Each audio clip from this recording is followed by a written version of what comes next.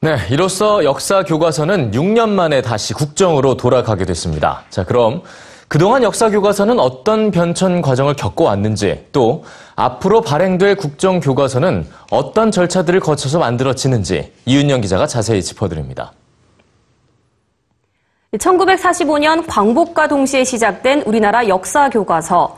당시의 국사 교과서는 지금과 같은 검정제였습니다. 하지만 1974년 박정희 정권의 유신 체제 아래 국사 교과서는 국정화로 전환됐는데요.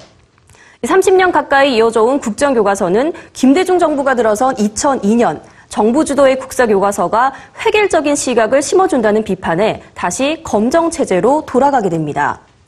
이때는 근현대사 부분이 어, 국사에서 따로 분리가 되면서 검정이 되고 국사는 기존처럼 국정으로 남으면서 이른바 부분 검정 체제가 됐는데요.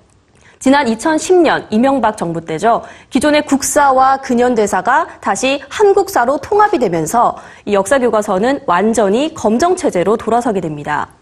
그런데 오늘 교육부의 발표대로 오는 2017년 국정교과서가 도입이 되면 6년 만에 학생들은 다시 정부 주도로 만든 하나의 교과서로 수업을 받게 됩니다. 일단 다시 국정교과서가 된 상황에서 이제 교과서를 앞으로 어떻게 발행할 것인지 또 집필지는 어떻게 구성할 것인지가 가장 관심인데요.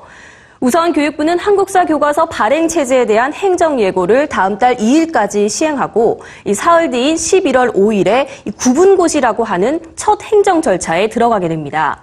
그리고 이후 교과서 집필진과 교과용 도서 편찬 심의회를 구성해서 다음 달 말부터 1년 동안 실질적인 집필 작업에 착수할 예정인데요. 집필이 완료된 교과서는 내년 12월에 감수와 현장 적합성 검토 등을 거쳐서 바로 다음 해인 2017년 3월부터 학교 현장에 바로 적용이 됩니다.